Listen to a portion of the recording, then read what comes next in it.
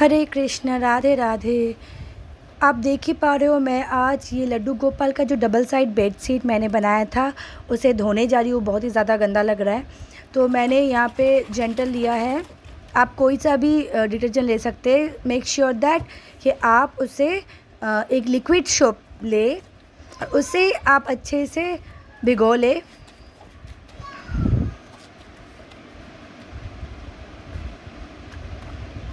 थोड़ी देर सोख करने के बाद आप इसमें, अगर आपके इसमें थोड़ा थोड़ा दाग, ऐसे आप देख पा रहे हो, मेरे इसमें बहुत ज़्यादा दाग हो गया है लड्डों का। तो मैंने यहाँ पे जो डिटर्जेंट है, उसे थोड़ा सा निचोड़ लेंगे और एक दो बार थोड़ा थोड़ा रब करके देखेंगे, उठ रहा है क्या? जब हम देख रहे नहीं उठ रहा है तो मैंने यहाँ पे वैनिस लिया है।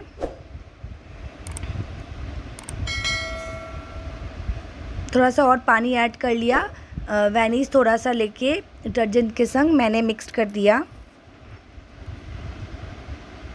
और ये बेड को आपको पाँच मिनट तक इस पानी के अंदर रखना है, ताकि ये दाग चला जाए।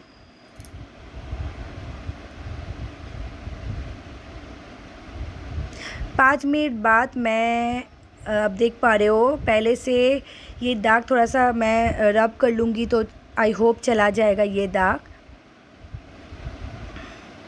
आ, बहुत सारा सवाल आता है कि ये अंदर में जो कॉटन है वो कहाँ जाएगा फिर वो जल्दी सूखेगा क्या नहीं? आ, मैं आगे दिखाने वाली हूँ क्या होगा। फिर मैं अच्छे से इसे धो लूँगी पानी से। अंदर सिंथेटिक कॉटन है इसीलिए ये बहुत जल्दी पानी छूट जाएगा, पानी अंदर नहीं रहेगा ये हल्का भी है। एक दो बार अच्छे से धोने के बाद आप ये देख ही पा रहे हो, ये एकदम अच्छे से साफ़ हो गया। बाहर मौसम थोड़ा सा अच्छा नहीं है तो मैंने ये ड्राई करने के लिए वॉशिंग मशीन में दे दिया, सिर्फ़ ड्राई करूँगी।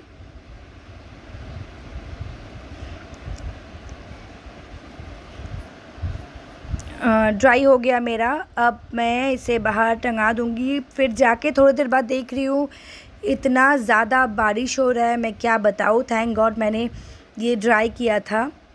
ये धूप में होगा तो बहुत ही अच्छी बात है। नहीं तो थोड़ी देर वेट करना पड़ेगा। रात तक आई होप सूख जाएगा। अभी दोपहर का ढाई बज रहा है तो आप देख पा रहे हो, मेरा ये एकदम सूख गया है।